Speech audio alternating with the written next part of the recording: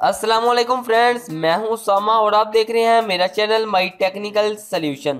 Friend, आज हम बात करने वाले हैं मोबाइल की कुछ सेटिंग के बारे में। जी हाँ दोस्तों, इस सेटिंग के बारे में बहुत लोग नहीं जानते तो आज मैं आपको बताऊँगा कि आप अगर यूट्यूब ज़्यादा यूज़ करते हैं और आप चाहते हैं कि उसकी हिस्ट्री आपके फ्रेंड या आपके घर वाले ना देख सकें तो आज की सेटिंग में आपको बताऊँगा। बहुत से लोग कहेंगे, भाई, हमको पता है, लेकिन हमेशा वीडियो उन लोगों के लिए होती है जिनको नहीं पता होता। तो वीडियो को ज़्यादा से ज़्यादा लाइक कीजिएगा शेयर कीजिएगा और खाली यूट्यूब की नहीं, मैं एक और सेटिंग के बारे में भी बताने वाला हूँ तो इसी वीडियो को एंड तक ज़रूर देखिएगा।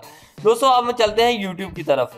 YouTube हम ओपन कर लेते हैं। YouTube ओपन करने के बाद, दोस्तों आप अक्सर आपने यहाँ पे बहुत ज़्यादा वीडियोस देख रहे होते हैं और इसके अलावा आप चाहते हैं कि जो हम देखें तो वो बार बार हमें सर्च हिस्ट्री में नज़र ना आवे और ना ही हम जो हम सर्च करते हैं, वो हमारी सर्च हिस्ट्री में आए। तो सिंपल आपने करना क्या है तो आपने अपने मोबाइल की सेटिंग पे चले जाना, यहाँ पे आप क्लिक करेंगे। ये देखिए मेरे पास आ गया, ये मेरा अकाउंट है।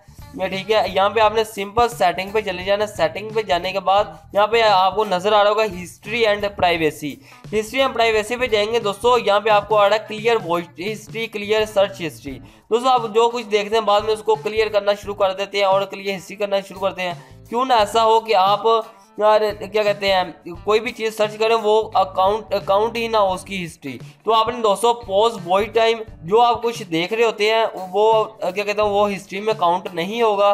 जो आप सर्च करेंगे, वो भी आप चाहते हैं कि वो भी हिस्ट्री में ना आए तो आप पॉज सर्च इंजन पे भी क्लिक कर दें। इससे आपकी जो भी आप सर्च करेंगे, जो भी आप देखेंगे, वो आपको सर्च हिस्ट्री में नहीं आएगा। ये थी एक यूट्यूब की सेटिंग ये आप कर लें। और इसके बाद आपको एक सेटिंग बताता हूँ। ये आपने सेटिंग में चले जाना सेटिंग में जाने के बाद आपने एसेसबिलिटी पे जाना आपके मोबाइल जोन सा भी है मेरा ओप्पो का इसलिए मैं और एडवांस सेटिंग में जाके जा रहा हूँ। तो आप एसेसबिलिटी यहाँ पे आपको नज़र आ रहा होगा। आपने इस पर क्लिक कर देना है। दोस्तों, यहाँ पे एक कोड मांग रहा है तो यहाँ पे हम एक कोड लगा देते हैं।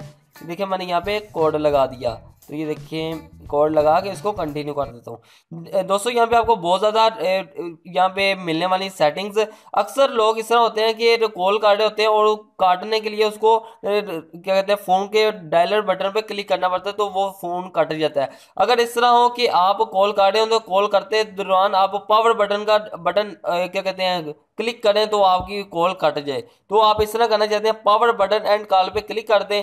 जैसे आप दोस्तों ऑन इसको ऑन कर देंगे तो आप को जोन सी भी वीडियो क्या कहते हैं आप कॉल कर रहे होंगे, जिसको मर्ज़ी कॉल कर रहे होंगे तो आप पावर बटन जैसे आप क्लिक करेंगे तो वो कॉल कट हो जाएगी। ये थी दूसरी सेटिंग दोस्तों।